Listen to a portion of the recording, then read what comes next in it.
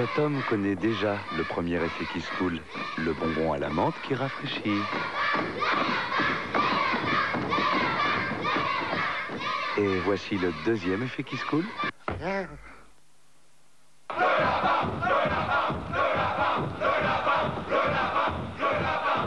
Qui se coule, le seul bonbon, double effet.